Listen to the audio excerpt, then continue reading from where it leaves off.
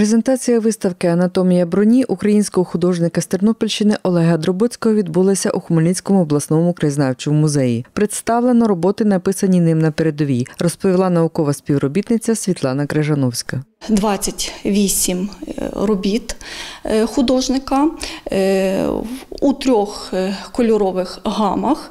Зеленій кольоровій гамі, яка символізує техніку, воєнну техніку.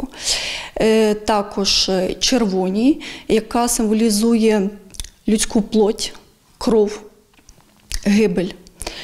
Е, А також сіру це вибух емоцій, Автор робіт загинув рік тому, розповідає Світлана Крижановська. Був стрільцем-санітаром, мав позивний художник. Він воював спершу в АТО з 2018 року, а 6 березня 2023 року його життя обірвалося е, в Оріхово-Василівка, е, в селі, що на Донеччині.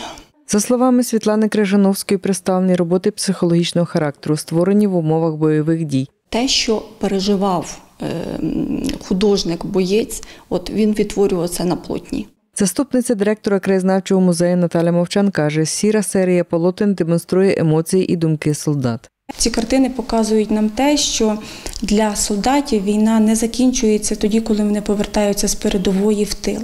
Вона для них ще триває. І е, дуже важливо, що, е, щоб ці емоції, ці думки, які їх гнітили там на фронті, на передовій під час бойових дій, щоб вони могли вийти. Виставка картин Олега Дробоцького триватиме у краєзнавчому музеї впродовж двох тижнів. Тетяна Ворожцова, Юрій Чорний, Суспільне новини, Хмельницький.